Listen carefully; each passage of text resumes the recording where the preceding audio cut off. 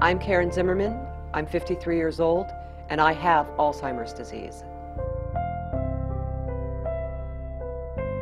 I'm Lee Bissell. I'm 44, and I care for my husband who has dementia.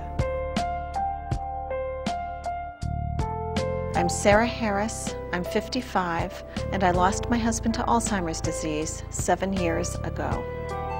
Make a difference by joining the Alzheimer's Women's Campaign.